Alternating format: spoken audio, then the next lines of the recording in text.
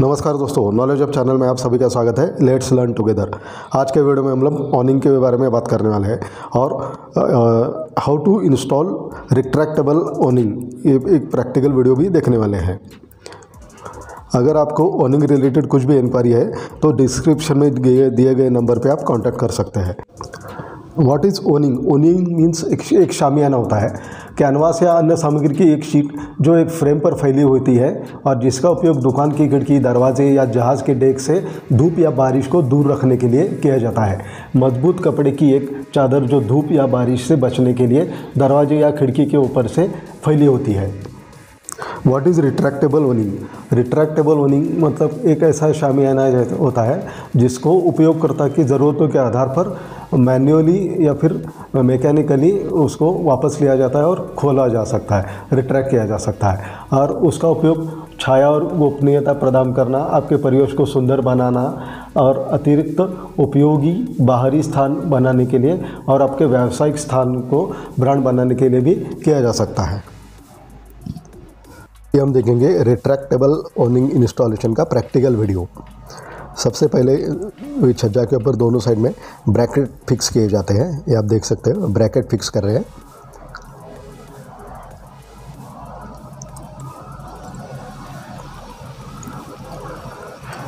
ये दोनों साइड में ब्रैकेट फिक्स कर रहे हैं।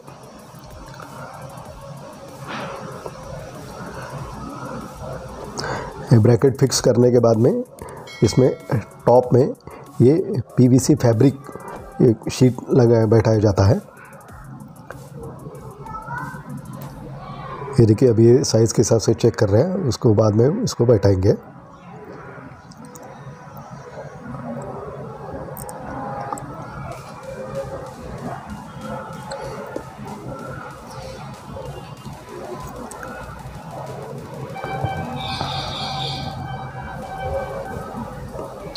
ये जो मटेरियल दिख रहा है, ये शीट पीवीसी फैब्रिक है।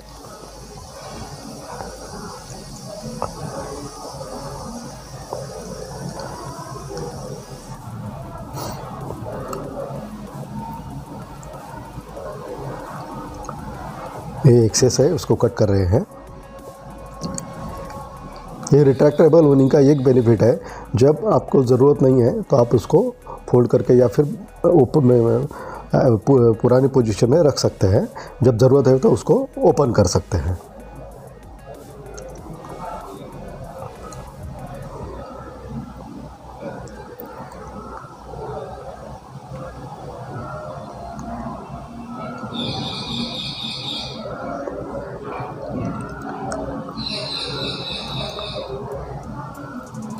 ये ब्रैकेट को वेल्डिंग कर रहे हैं। वेल्डिंग करके उसको टॉप का फिक्स किया जाता है।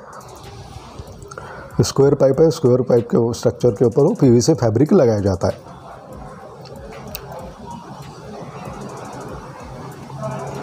ये अभी ऑनिंग देख सकते हैं आप।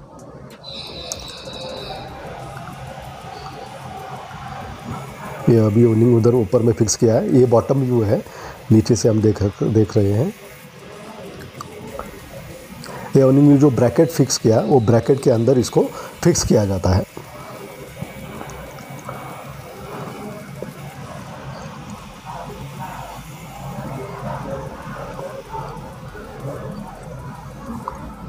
फिर ये जो ब्रैकेट है ब्रैकेट के अंदर इसको फिक्स कर रहे हैं।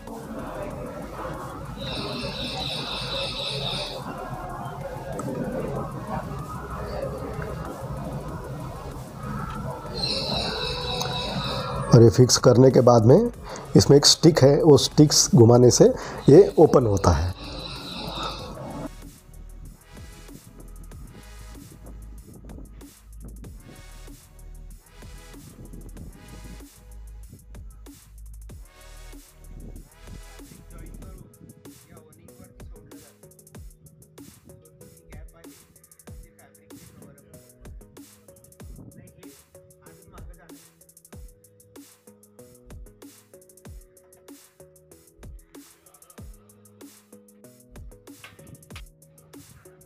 감사합니다.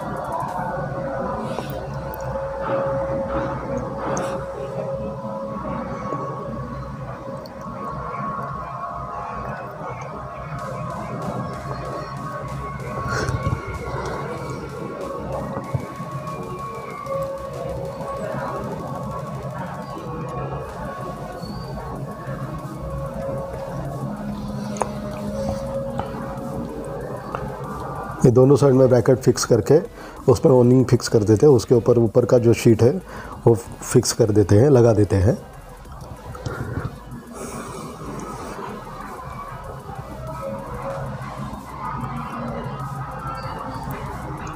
ये जो अभी हाथ में दिख रहा है, ये स्टिक है।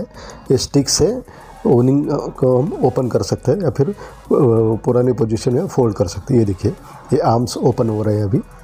ये जैसे भी जैसे घुमा रहे हैं, ऐसे ये देखिए आप देख सकते हैं ये जैसे जैसे घुमा रहे हैं, ये ओनिंग ओपन हो रहा है, ये आर्म्स के थ्रू ये ओपन हो रहा है। ये देखिए।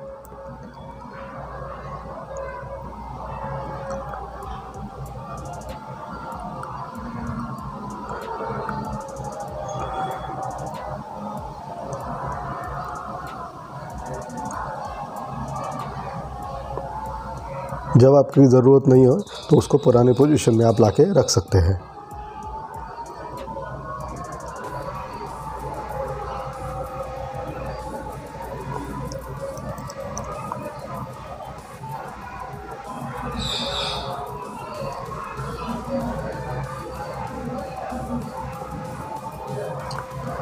ये देखिए, अभी ये ओपन हो गया है। ये ओपन होने के बाद में ऐसा दिखता है। अगर बहुत ही ज़्यादा हेवी विंड है तो उसको आप रस्सी लगा के नीचे बाँध के रख सकते हैं, ताकि वो उसको ऊपर ना उड़े यहाँ विंड फ्लो उतना कम है, इसलिए रस्सी लगाने की ज़रूरत नहीं है।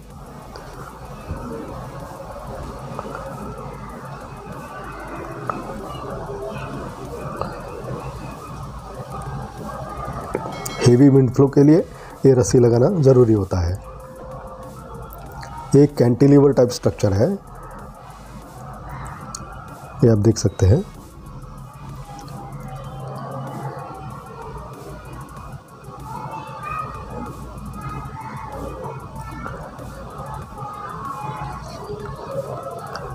ये देखिए, ये जो साइड में गैप है, वहाँ पूरा सीलेंट लगा रहे हैं। सीलेंट लगाने के वजह से यहाँ कोई लीकेज नहीं होगा।